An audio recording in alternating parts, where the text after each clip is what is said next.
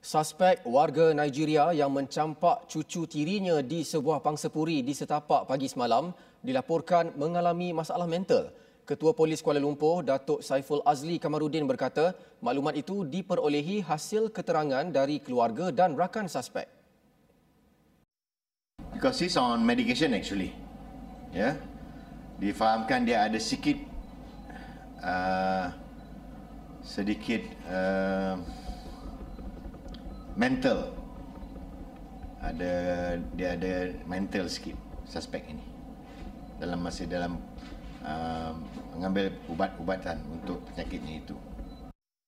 Bagaimanapun, polis akan menjalankan siasatan lanjut berhubung dakwaan itu. Suspek berusia 42 tahun itu kini direman selama tujuh hari bagi membantu siasatan. Manakala isteri suspek dan dua anak termasuk mangsa yang cuba dirogol masih menerima rawatan di Hospital Kuala Lumpur. Datuk Saiful berkata polis juga akan menyiasat dakwaan suspek terbabit dengan ajaran sesat atau tidak. Kes disiasat mengikut Seksyen 302, Seksyen 307 dan Seksyen 377C Kanun Keseksaan. Dalam kejadian 8 pagi semalam, kanak-kanak 4 tahun Muhammad Adam Sufi Muhammad Nur Kusairi maut selepas dicampak suspek yang juga datuk tirinya dari tingkat 3 apartmen di setapak. Mangsa ditemui berlumuran darah manakala suspek yang bertindak terjun dari tingkat yang sama ditangkap dalam keadaan berbogil.